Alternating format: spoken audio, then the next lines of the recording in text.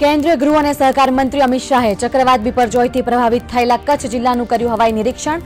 માંડવી હોસ્પિટલમાં દાખલ ગર્ભવતી મહિલાઓની લીધી મુલાકાત. મુખ્યમંત્રી ભૂપેન્દ્ર પટેલ પણ રહ્યા હાજર. વાવાઝોડાથી ખેડૂતોને થયેલ નુકસાનની પણ કરશે સમીક્ષા. એનડીઆરએફના જવાનોનો પણ માન્યો આભાર.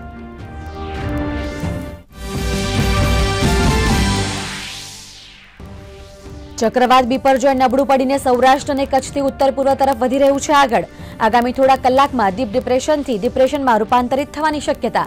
રાજસ્થાનમાં બિપરજો ચક્રવાતને પગલે અપાયો એલર્ટ અનેક વિસ્તારમાં પડી શકે છે ભારે વરસાદ.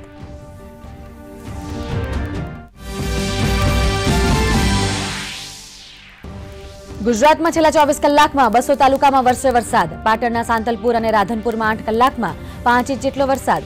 બનાસકાંઠાના દાંતામાં સાડા ત્રણ ઇંચ તો સાબરકાંઠાના પોશીનામાં ત્રણ ઇંચ જેટલો વરસાદ, કચ્છના સાત તાલુકાઓ ભારે વરસાદથી સૌથી વધુ પ્રભાવિત.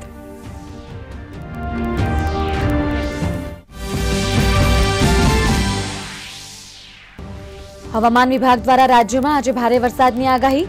કચ્છ અને મહેસાણામાં ઓરેન્જ એલર્ટ તો અમદાવાદ, મોરબી, સુરેન્દ્રનગર, ગાંધીનગરમાં યલો એલર્ટ અરવલ્લીમાં પણ પડશે ભારે વરસાદ.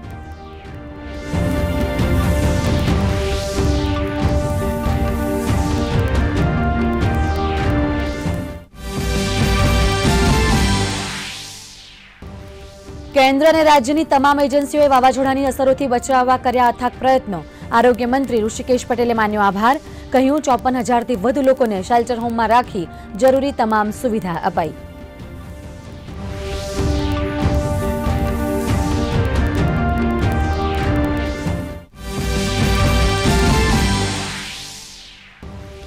ચક્રવાત બીપરજોય વાવાઝોડાના પવને મચાવી તબાહી. કચ્છ દ્વારકા અને જામનગર સહિતના જિલ્લાઓમાં લોકોના ઘરોમાં ઘૂસ્યા પાણી, પાંચ હજાર એકસો વીસ જેટલા વીજપોલ તૂટ્યા, એક હજાર એકસો સાડત્રીસ વૃક્ષો થયા ધરાશાયી, વીસ કાચા, નવ પાકા મકાન અને પાસઠ ઝૂંપડા થયા જમીનદોસ્ત જ્યારે ચારસો ચુમ્મોતેર જેટલા કાચા મકાનને અંશતઃ નુકસાન.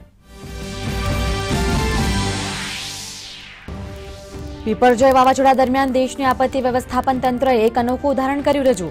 એનડીઆરએફના ડીજી અતુલ કરવાલે કહ્યું, વાવાઝોડાના લેન્ડફોલ બાદ કોઈ પણ વ્યક્તિએ જીવ ગુમાવ્યો નથી.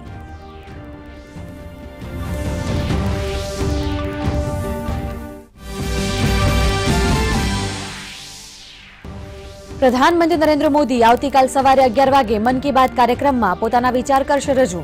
મન કી બાતની એકસો બેમી કડીનું દૂરદર્શન અને આકાશવાણી પર આવતીકાલે થશે પ્રસારણ.